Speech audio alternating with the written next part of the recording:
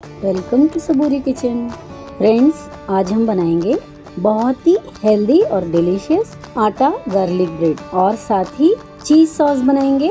वो भी बहुत आसान तरीके से। तो चलिए देखते हैं कैसे बनाते हैं। सबसे पहले हम गार्लिक बटर तैयार करेंगे। इसके लिए बोल में 25 ग्राम के करीब हमने बटर लिया है।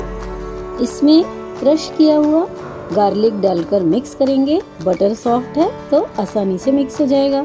बारीक कटी हुई हरी धनिया की पत्तियाँ डालकर मिक्स करेंगे, सारी चीज़ों को मिलाएँगे।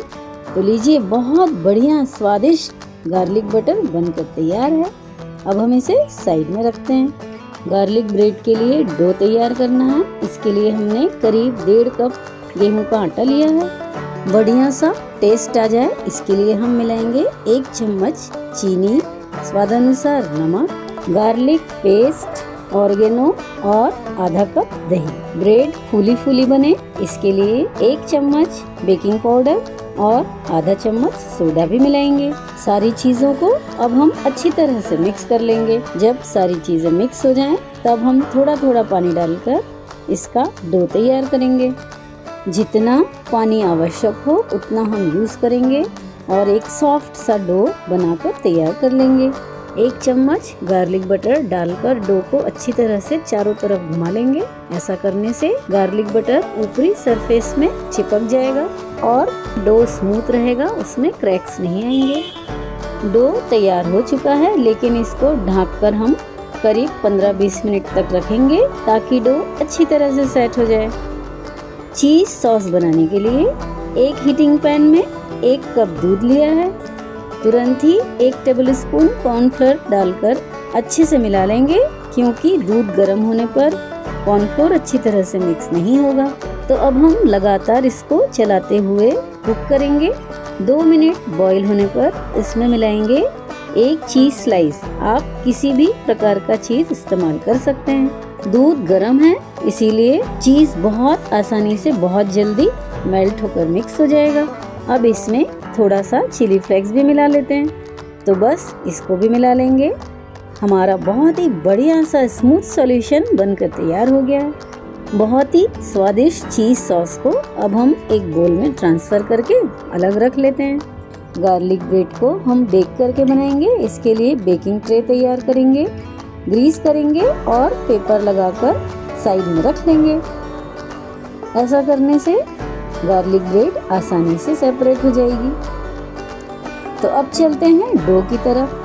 डो अच्छे से फूल कर सॉफ्ट हो गया है। अब हम इसको थोड़ा मसल कर स्मूथ करेंगे। डो अब ब्रेड बनाने के लिए बिल्कुल उपयुक्त है। तो चलिए हम इसके छोटे छोटे पार्ट डिवाइड कर लेंगे और इसके गोलाकार भाग कर लेंगे।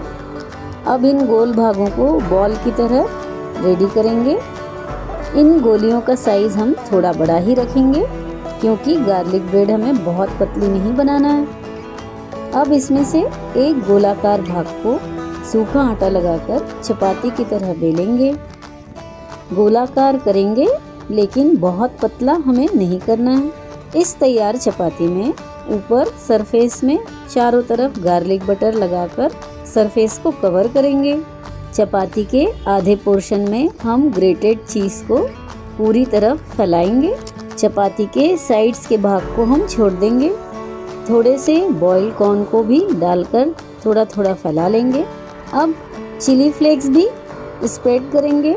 चपाती के सारे किनारे के भाग में हम इस तरह से पानी अप्लाई करेंगे।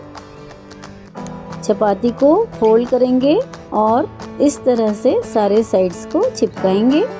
पानी की वजह से आसानी से चिपक जाएँगे। अगर हम ऐसा नहीं करेंगे तो अंदर की सामग्री बाहर आ सकती है। इसी तरह से हम सारी चपातियों को तैयार कर लेंगे। बेक करने के लिए अब हम इन्हें बेकिंग ट्रे में रखेंगे।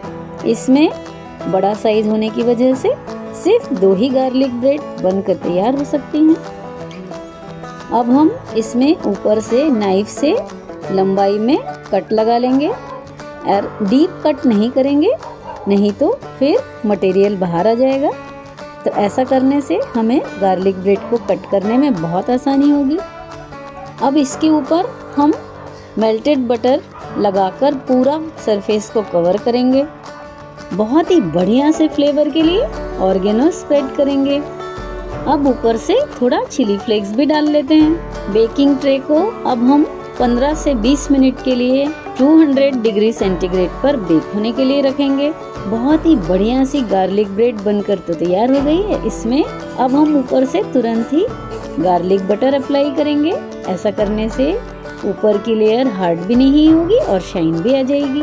तो देखिए, बहुत आसान तरीके से हमारी बहुत ही डिलीशियस, हेल्दी गार्लिक ब्रेड बनकर तैयार हो गई है।